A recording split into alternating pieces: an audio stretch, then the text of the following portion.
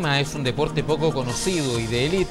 Hay un grupo de cartageninos del Lion School que hace tres años lo practican y de gran manera. Es más, algunos de ellos son los mejores de sus categorías a nivel nacional, lo que ya se prepara para el próximo desafío de este fin de semana en Punta Arenas. Comenzaron muy tímidamente conociendo este deporte y en algunos casos, ya tres años de su inicio, ya son los monarcas en sus categorías. Se trata de los pequeños alumnos del Lion School de Cartagena, quienes ya dan que hablar a nivel nacional. Iniciaron esta aventura con poca implementación, pero con muchas ganas, por lo cual el establecimiento fue haciendo crecer el taller de esgrima, incrementando además el equipamiento, que los tiene hoy con un tablero profesional de la especialidad, materializando una millonaria inversión. Largo proceso que valora el maestro de esgrima Felipe Goller, ya que el esfuerzo de este grupo de cartageninos ya está dando frutos. Sabemos que el trabajo de la esgrima es un deporte que no muchos conocen, que nadie en realidad ha visto, o sea, a lo más puede haber sido que hayan visto, no sé, al París Nostroza en los Juegos Olímpicos o a Catherine Bravo y sería con suerte lo que se ha visto.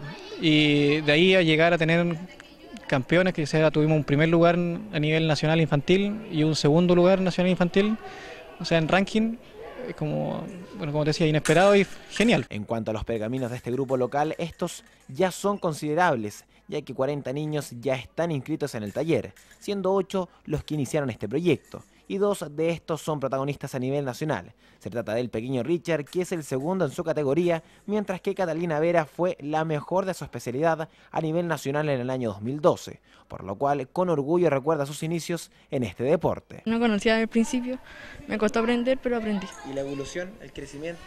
Evolucionaba harto. Al principio me costaba, pero ahora no me cuesta tanto. Igual me hago mis puntos. Mientras otros menores vienen poco a poco elevando su nivel en las distintas competencias a las que participan habitualmente. Es el caso del pequeño Andrés Jiménez, que sigue con sus prácticas para luchar por el podium en las próximas competencias. Me ha gustado mucho.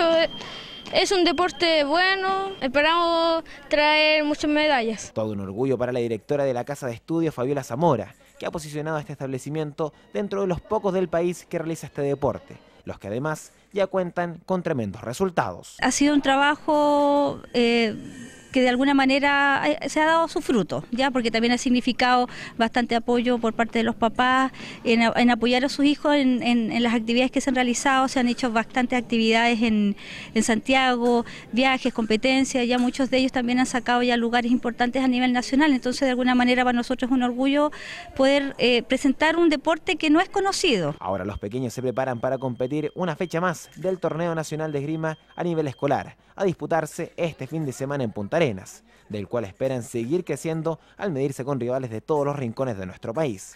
Tremendo trabajo el de esta casa de estudios junto a los pequeños, que luego de tres años consiguieron traer a la comuna de Cartagena la última fecha del torneo nacional de la especialidad a disputarse en el Lion School los días 7 y 8 de diciembre.